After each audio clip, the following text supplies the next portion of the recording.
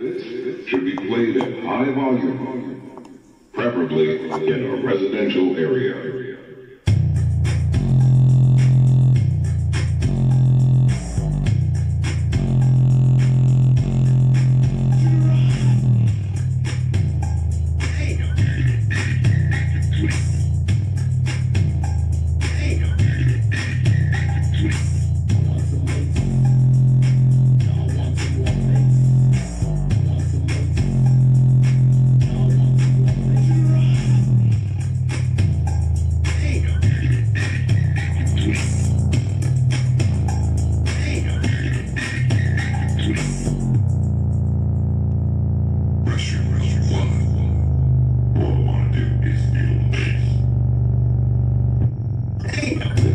Thank you.